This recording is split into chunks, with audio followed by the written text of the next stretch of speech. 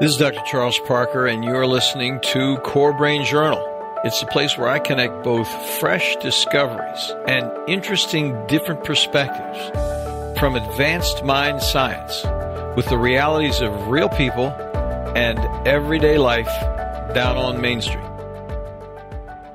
Well, welcome aboard, folks. Dr. Charles Parker, and I am extremely excited to share meeting today with Dr. Kate Rhéaume, and she is the person. We haven't really talked about her much. I talked to her about with friends and, and patients, but she has written a book called Vitamin K2 and the Calcium Paradox How a Little Known Vitamin Could Save Your Life. She's got some groundbreaking information. It's going to be so interesting to listen to. Kate, thanks so much for coming on board. We really appreciate it. Thank you so much for having me. I'm really happy to be here. It's going to be fun. So, I'm going to read a little bit from our sponsor, and then we're going to go ahead and go. This is, we're really pleased to have, we're, we're really into biomedical measurement and data as opposed to uh, labels and games. And Core Brain Journal is sponsored by Great Plains Laboratory. They are international leaders in biomedical testing for factors in brain health, including metabolism, nutrition, food allergies, exposure to environmental toxins of all things, and much, much more. As both scientific and educational global thought leaders, they provide the most comprehensive set of hard data measurement tools for real biomedical answers beyond guesswork. And they also provide training webinars for both the public and medical professionals on how to use that data effectively in our offices and homes. Check out their website for references and testing details. And take note, friends, of this. This week, you can enter to win a complimentary organic acids test, a comprehensive metabolic test with 75 specific markers, all from one simple urine sample. Send it to Kansas. You get 75 answers. You can enter to win this test. Uh, they'll have a drawing for it at greatplainslaboratory.com forward slash CBJ call station. Why not get on it? Let's get the test, see what happens. So, moving smartly along, let me introduce you to Dr. Rhéaume. She's a graduate and former faculty member of the Canadian College of Naturopathic Medicine. Dr. Kate lectures internationally on many topics related to health and wellness and is considered to be a leading authority on vitamin K2. She is the author of that best selling book that I was talking about a moment ago, Vitamin K2 and the Calcium Paradox How a Little Known Vitamin Can Save Your Life. So, we're going to hear the details. There are so many interesting things to talk about. We're not going to spend much more time on the intro. We want to get down to business. But before we actually do, let's talk a little bit on the narrative, Kate, get squared away with who you are as a person and how in the Dickens you number one discovered this idea. It's like oh my gosh this is interesting.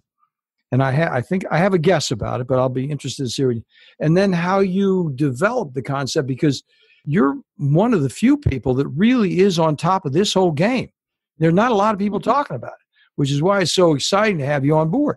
So how did all that start for you?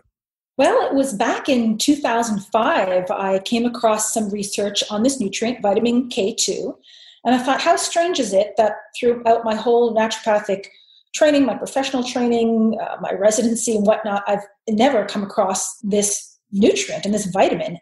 And I did some more digging, and I was surprised at the amount of research I found on it. Some of the earliest research was about cancer prevention and treatment, in particular, used as a cancer treatment in Japan. But then the more digging I did, the more information and research I found, and I thought it was stunned that I people weren't talking about it. And then around that time, the studies about calcium and, the problems with calcium, you know, people taking calcium supplements and having more heart attacks and strokes. And I realized that vitamin K2 played a big role there. So it was just a really important part of the, you know, or piece to the puzzle for many people's health conditions.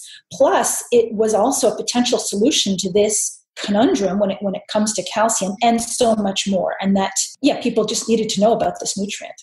Well, you know, it's so interesting, listeners, because we're going to talk about a variety of different conditions.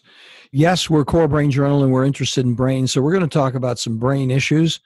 But so many of the somatic things that Kate is going to talk about is directly related to brain function, either directly or indirectly. And K2 plays a major role through all these things, including things like diabetes. So we're going to work our way through number of topics. So stay tuned.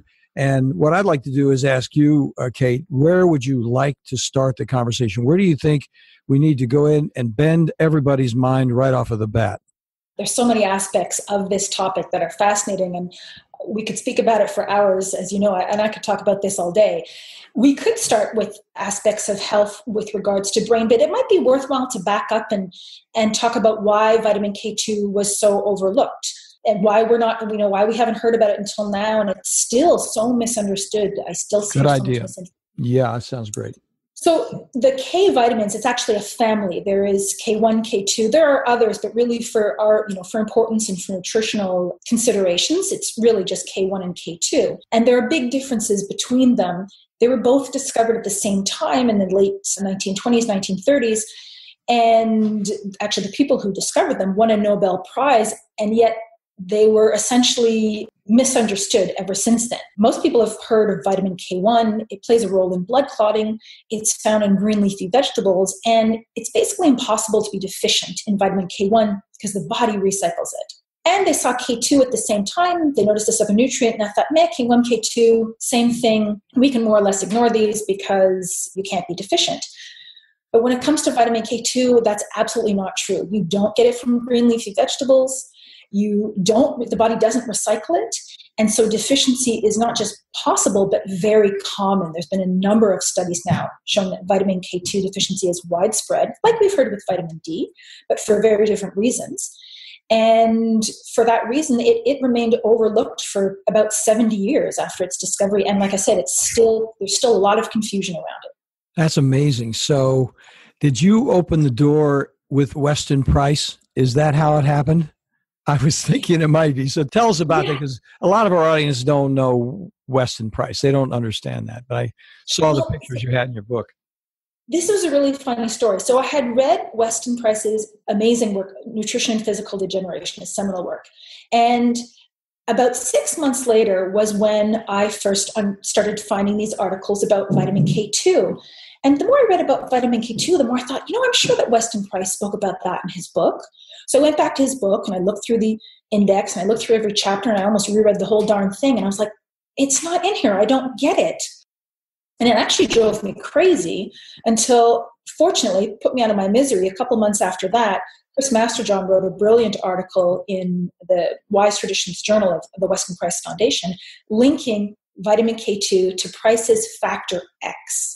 So this is this nutrient that Price discovered when he did his travels and found that people all over the world in what he called the primitives, living their traditional lifestyles, had much higher intake of nutrients in general and especially fat soluble nutrients, higher intakes of A, D, and this third fat soluble vitamin that he didn't know what it was called, so he just called it X.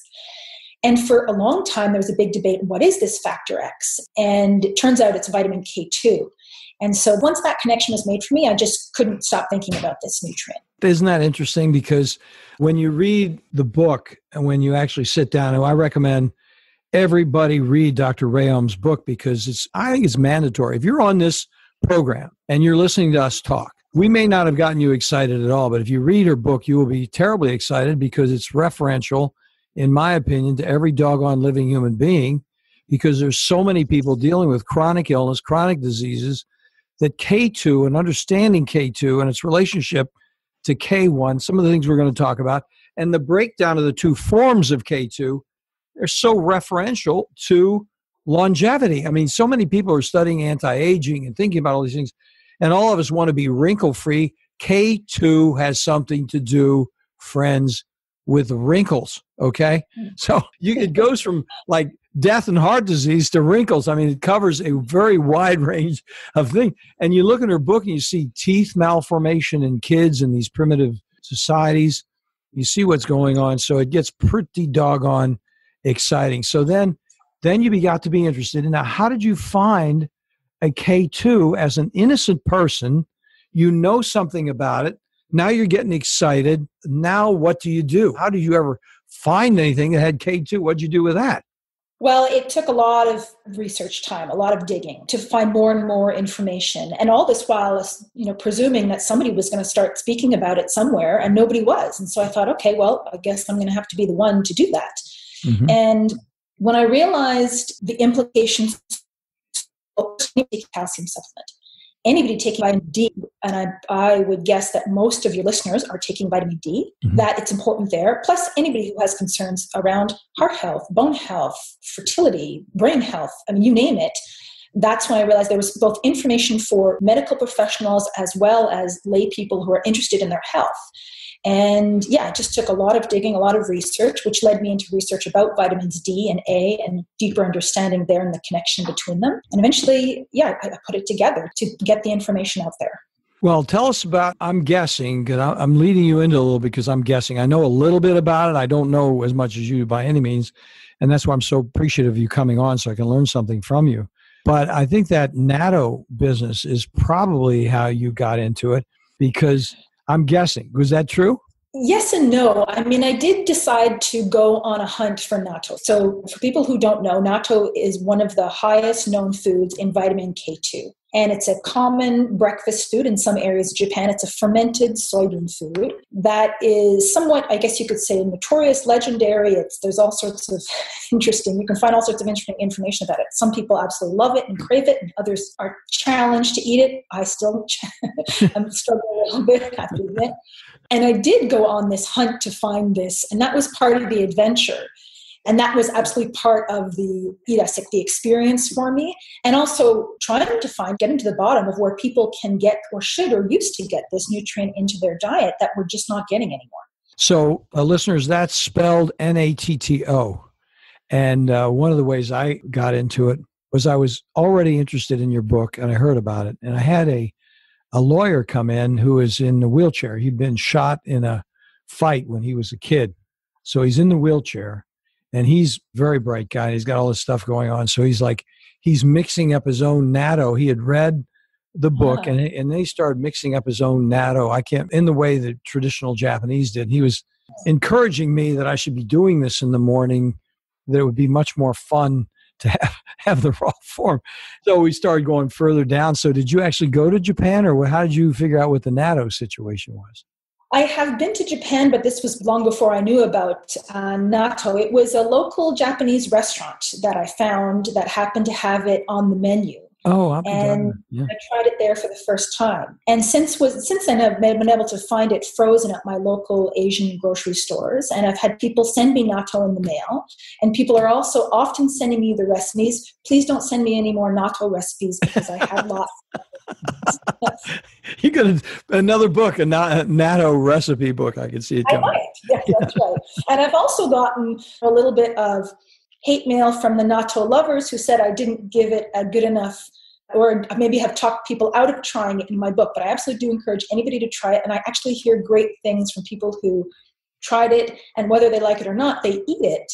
It just has a unique taste and texture in particular. But I do encourage people to try it because I hear good things from people who use it. Listeners, unique is a political word, okay? trying not to raise the wrath of the natto lovers here. So let's talk. Let's talk about the brain application. Let's start with Alzheimer's. I was really surprised in reading your book that Alzheimer's came under some of that rubric, and I, I there are a couple of, of specifics. Heart disease and Alzheimer's are like must to talk about, as is diabetes. I think diabetes is those three are so commonplace. Mm-hmm. And then you and I were talking offline there's a whole nother condition which is extremely commonplace as a marker for K2, and that's psoriasis. How many people, oh my gosh. Anyway, let's start with the biggies. And before that, let me back up a second because I'm getting excited about hearing those answers. Let's break down a little bit, if we could, the two subsets of K2 and understand that a little bit before we go into the next level, if you don't mind. Could you tell us a little bit about that? Yeah, so in nature, vitamin K2 exists in a number of forms. If you're looking at, for example, animal foods, grass fed animal foods, you get what's called a short chain version of vitamin K2. MK4 is, is the most common one. And then when you look at fermented foods, which is another source of vitamin K2, some but not all fermented foods, depending on the bacteria, will contain vitamin K2. And they will contain, depending on the food, MK7, 8, 9, 10, 11.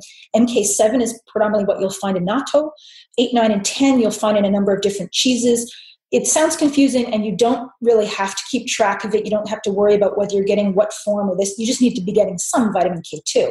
When it comes to supplements and shopping for supplements, you will find two types on the market the MK4 and the MK7, which you can think of as a short chain and long chain form. By chance, it's also the MK4 is a synthetic form and the MK7 is bacterial derived, so considered to be a natural form. I'm not, and regardless of your feelings on natural versus synthetic, they both work. There's research behind both types, but they need to be used in different doses. I tend to gravitate towards the MK7 form for a number of reasons. It's effective in relatively small doses and a single daily dose that the half life is long enough that will carry you through to the next day. Whereas the MK4 form, you typically need to take it, you know, it's best taken three times a day because it has a shorter half life. So when you're shopping for supplements, I tend to go with that MK7 form. But for people, you know, for, for other reasons, people may choose the MK4 form. That's fine too. So stay tuned, listeners, because before we get through this, we're going to talk about dosages and the whole thing. So mm-hmm. we're going to close with that because, first of all, we want to think about applications, and then we'll talk about treatment modalities. So, so we have a couple of different tools there: the four and the seven, and those are both K2. And then K1 is, not, uh, you know, what was going on before we started is Dr. Rhéaume mentioned that K1 is not so relevant. So we're not really thinking about K1 because it has more to do with the clotting situation as she discussed on, on the front end. But what we're looking at is this the way K handles a variety of things from inflammation to calcium to so could you talk a little more about that because that's we're starting to define the target a little bit more. So the big role that vitamin K2 plays is in calcium metabolism and regulation. So, helping to keep calcium in the right place in the body. Specifically, it will help to guide calcium into the bones and the teeth. And it will make sure that calcium doesn't end up landing in soft tissues like arteries, heel spurs, kidney stones, you name it, anywhere calcium's not supposed to go. The body has a problem with calcium. It's, it's this double edged sword. We always have calcium in relatively high amounts in the body. And for that reason, we've always needed to protect ourselves from inappropriate calcification because that tends to happen. So the body has an amazing and very efficient system to do this, but it depends largely on vitamin K2. So if the K2 is missing, then you will end up with osteoporosis, or it's a big factor there, calcium leaching out of the bones, or calcium building up in arteries in a number of ways and that's a massive factor in heart disease for example you know there's been so much focus when, and we can go into detail about heart disease but there's been so much focus on cholesterol and yet, cholesterol levels are not a good predictor of your risk of heart attack. Whereas, if you do a coronary artery calcification score testing or a scan on the heart, the amount of calcium in your coronary arteries is an excellent predictor of your risk of heart attack. So, mm-hmm. the calcium here is much more correlated with those outcomes and those incidents. So, K2 extremely important to keep calcium in its place. That is one big rule that we know of. So then, just as a by the by, folks, Kate's book has 241 peer reviewed references in it. Oh, so she's not messing around with this. This isn't hearsay. This isn't something she learned on the farm in Canada. This is serious business. So, those of you are saying, hey, it's a vitamin, I don't know about vitamins, I don't know if I really need vitamins. What is this gobbledygook? I think what you have is serious 241 peer reviewed references on a, a book that goes into much more detail on these things that we're talking about casually here in this brief conversation. Really, this brief conversation, as far as I'm concerned, is just to get you interested in reading the book because it doesn't matter what your station in life. You can be a medical professional, you can be a cardiologist, you can be an Alzheimer's specialist, you can be a person who's interested in fertility you can be an internal medicine doc who's interested in diabetes. If you don't read this book, you're missing out. It's as simple as that. It's not like maybe, what if, just go ahead and read it and look at the references, and you're really uh, going down the road very well. So let's just talk about heart disease since we're into it a little bit. So the calcium plaquing on the vessels really can affect And you can actually, with K2 and using K2 effectively, and I want to thank you again for putting specific dosages in there. You know, you say, look, here's how you can reduce your coronary calcification. Who else can say that? I mean, I think that's groundbreaking. It's a big deal. It is a big deal and it sounds incredible, but actually, as I was saying, the body has a system to deal with this because it's always had to deal with this problem, but it relies in large part on this nutrient. And I do give doses in the book, although I have to say that since publishing the book, there have been a couple studies that have come out that actually show better, uh, greater benefits in larger doses. So, one of the most recent studies to look at reducing calcifications and, and markers of calcification was using about 400 micrograms of MK7 per day, or, or it boils down to that. They were actually doing a three times a week dosing that I, for reasons I won't get into, but about 400 micrograms per day. So that is more than I recommended in the book based on earlier research. And that one seems to be quite effective and very safe, by the way. It has been, vitamin K2 has been shown to be very safe even at very high levels. And a question I get commonly is well, if K2 is, is reducing calcification, is that making plaque less stable? And would could that cause problem? You know there's a vision of say plaque breaking off in chunks and uh, mm-hmm. going elsewhere. And that doesn't it's absolutely not the case. We don't see adverse effects like that. So it, it is very safe. Well then you were talking about the two other fat soluble vitamins. Does one need to augment k2 with a and d? Or is there an augmentation strategy as well that's necessary to make it happen what's what's your thought on that now, the K2 has primarily been studied on its own, and there's been little some studies have looked at it with vitamin D, but they do all there's a trio here and they do all work together. So vitamin D will help us absorb calcium. Vitamin A will help us remove calcium from the body, which is important sometimes. And vitamin K2 in the middle will help it put it into or take it out of where it's not supposed to be. And so I think there is value in taking these three together. We're trying to then the next question of course becomes what's the optimal ratio, which hasn't been established, but the rule of thumb I go to is roughly equal amounts of vitamin A and D and then for every 1,000 units of A or D, about 100 micrograms of the vitamin K2. And again, that's all my doses are in the MK7 form. Oh, that's interesting. Now, and what is the form of vitamin A that you recommend? D is D3, of course, but yeah, D is D3, of course. I typically look at the retinol palmitates. Mm-hmm. I've got no concern with those. They're, mm-hmm. they're typically what's used in, in the research trials.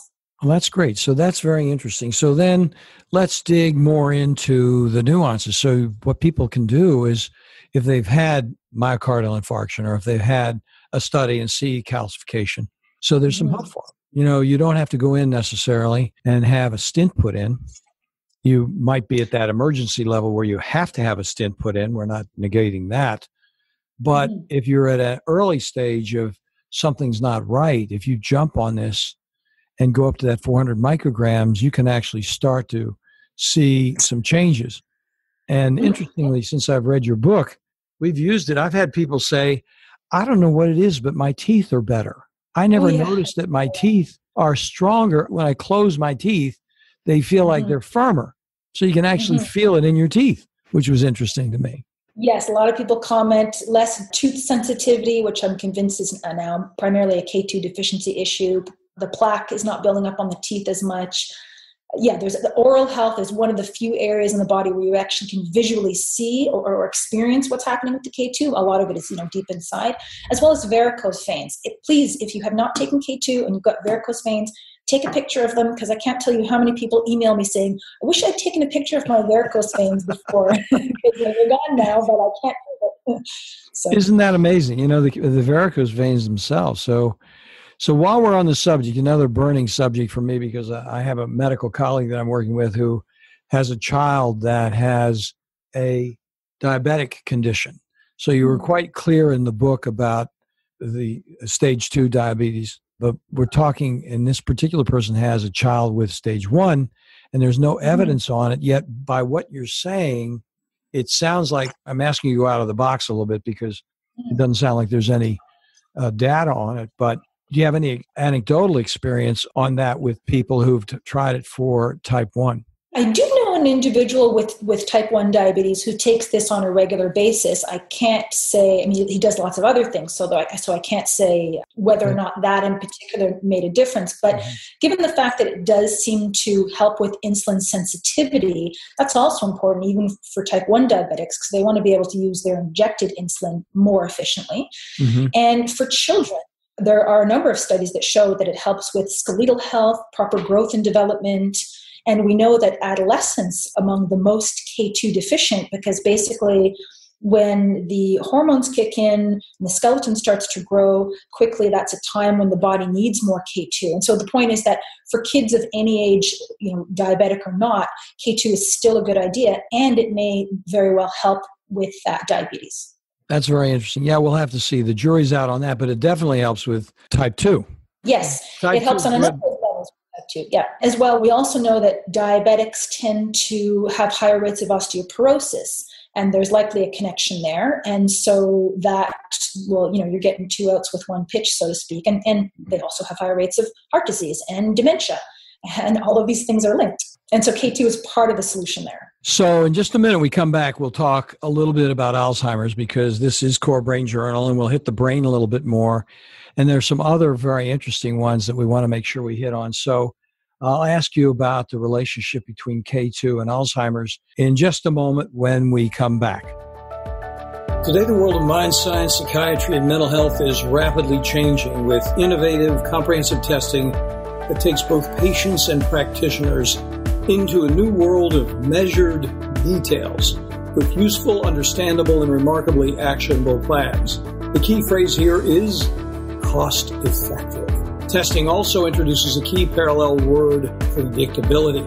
Psychiatric treatment failure, especially after multiple medications and or brief hospitalizations, arises directly from the complexity of measurable brain body imbalances and impediments that explicitly interfere with medical outcomes and create costly difficulties with inadequately informed supplement and medication trials over time. Great Plains provides a leadership team of biomedical experts with advanced laboratory insights approved nationally both by the FDA and CLIA laboratory certifications and is available internationally for both public and medical professionals.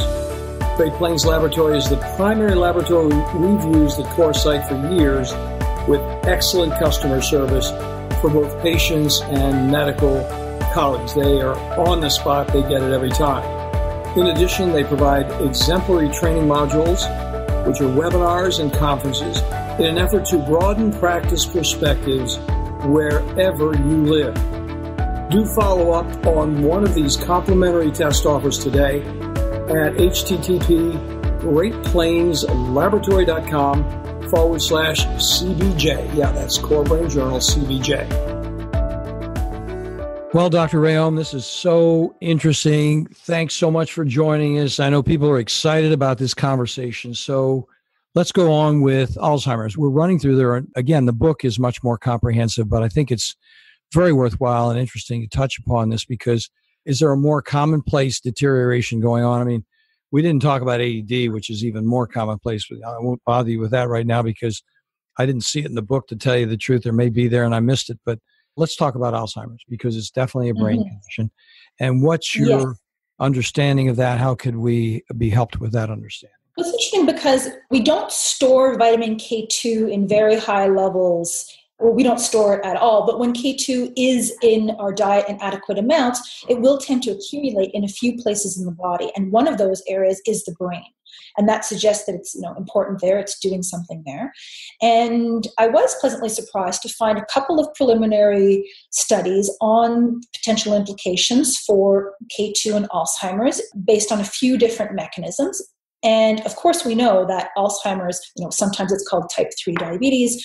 We know that it is frequently associated with atherosclerosis. There's a connection between all these concerns. And so I was happy, and I think there's also a number of potential ways and areas that it is helpful. One thing that's really grabbed my attention, and there is, and we can go into some of the specifics on, on the Alzheimer's level, which, but I've included that in the book.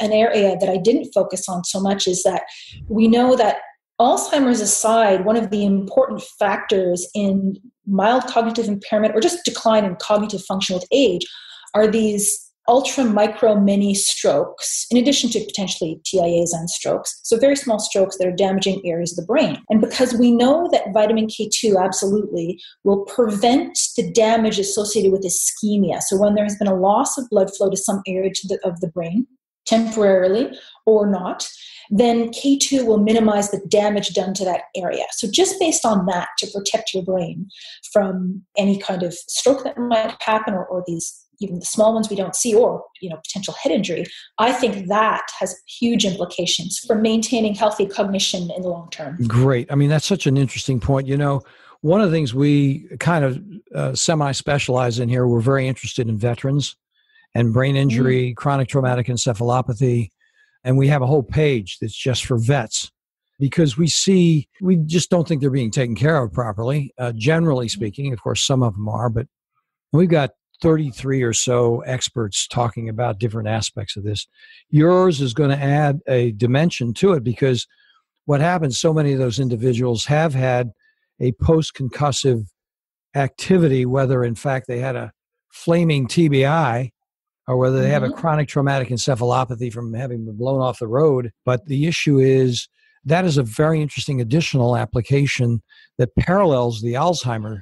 And thank you mm-hmm. so much for sharing that because that's totally interesting. Now, what's the dosage on that kind of do you have any thoughts about specific dosage on those guys they haven't done as much research, and this is an area that I think is lagging in the K2 research. There's been a, you know, a lot of focus on bone health and heart health, but in terms of especially clinical trials for brain health and cognition, I think that's lagging. But I would tend to use the same kinds of dosages as for cardiovascular health. So that hmm. 400 microgram dose. Yeah. That's great. That makes total sense. So then now we're going to go to some other things. I thought the whole business of transplant, I mean, you know, you don't really think of transplant issues because they're sort of way out there in the arcane world of you're bringing somebody's liver in and putting another liver in, you know, sort of like that's beyond the pale. I mean, why talk about that when you have all these experts running around doing this? But I thought it was very interesting that you included that in the book because of you go ahead and talk about it because there's some implications there with transplants. Well I, I thought it was interesting that somebody had studied it. And so the fact that there was information there about it that I, I thought it should be included. And it does have benefit anywhere that there's you know research on, on k2 benefit. I, I did want to include that. Mm-hmm. and so potential implications for better outcomes when it comes to transplants I think that that's promising. It's another area where I'd like to see more research with the K2. Well, and then let's talk about the big one for so many people. I mean, I think women are so significant in our society in terms of being resources, but so many people miss the whole hormone thing with women. It's amazing. You know, we see mm-hmm. people come in, and I just do a routine evaluation on estrogen dominance with every woman that comes in. I mean, even down into teenage years to find out about their periods and what's going on with them. And it is absolutely amazing to me how many people are treated so lockstep with estrogens for an estrogen dominant problem. I mean, it's, oh, it's a pervasive problem. And then parenthetical next to that is fertility. So could you talk a little bit about those items, if you will, please? Sure. So vitamin K2 has very interesting implications for estrogen metabolism itself, in addition to, we know that, for example, after menopause, there are a number of changes when, when estrogen levels decline due to that change in estrogen levels that can potentially impact bone health. And specific studies have shown that vitamin K2 can counteract each of those changes to help maintain the bone health but it specifically seems to have some impact on estrogen and also participates with vitamin D, and they work together to help with estrogen metabolism. So that, I think that's important. And, and again, if the K2 is lacking, that it'll be that much harder to try to get these hormones back in balance. Now, when it comes to fertility, for women, fertility is more complex, but of course, you want to have the hormones in balance. We can absolutely say, and there have been a number of studies come out since I've published the book to confirm with regards to male fertility. We know that vitamin K2 will increase testosterone levels and sperm counts, and this will uh, be beneficial absolutely for male fertility. So interesting. I mean, it just Mm-hmm. you think about it. I mean, here's another one of the pervasive markers. I mean, they seem so commonplace and so obtuse at the same time. You know, you really can't know. You don't know what to do about them. And you said maybe shoot them a little testosterone, whatever. But you know, if you can actually do something, you know what the mechanism is by which the hormones are modified by K two. Do you have any any thoughts about that? Any specifics? Seems to also be involved with the osteocalcin protein, which is which is uh, related to bone health, which is pretty interesting, and it may have some other mechanisms. We know that K two is helpful, very helpful for prostate health, and again, a number of studies have come out recently to show prostate enlargement, BPH, as well as prostate cancer that K2 is extremely helpful. Now, this is through other mechanisms, especially the BPH. It has to do with improved circulation, likely in and around the prostate. But I believe K2 is now being considered as a part of the treatment for prostate cancer. That is so interesting. I mean, that's another piece of information. Now, let's hit the more commonplace, somewhat ubiquitous psoriasis. I mean, we were talking offline a little bit about that. Go ahead and share with our audience what you found out about that. This, this one blew me away, and and because I didn't write about it in my book, and I have to say, to date, there have been no studies. However, if you suffer from psoriasis, there is a website check out called freedomfrompsoriasis.com, and it's a woman there, Dakota, who's simply sharing her story of how she was covered head to toe in psoriasis and had suffered from it for 40 years and has been completely clear for it must be almost going on three years now after starting to take vitamin K2 for her psoriasis. And now there's a whole community of people who have benefited from this as well. And it's remarkable. Mechanisms, it turns out there is some something going on with calcium regulation in the skin in the, in the dermis, and that may be mm-hmm. part of why. And of course, K2 also has some anti-inflammatory properties. And we know that most people with psoriasis are treated with vitamin D, and that can be helpful to a certain extent. But the number of, of positive feedback from individuals with psoriasis has been overwhelming. Of course, then you go into a whole nother long trip with immunity, you know, because then we see IgG problems that are off the map so frequently. Mm-hmm. And of course, we do it just by diet alone. But I mean, what we're talking about here is that if a person has a significant immune dysregulation with a food sensitivity, part of the healing process would be getting K2 and vitamin D on board ASAP because downstream from the good, please. Yeah, well, we know vitamin D is critical for the immune system. And basically, anywhere where vitamin D is required, you have to ask what is the role of vitamin K2 because they, they will work together. In addition to that, you know, relationship where I mentioned earlier that vitamin D helps absorb calcium and then vitamin K2 will, will move it around into and out of the right places.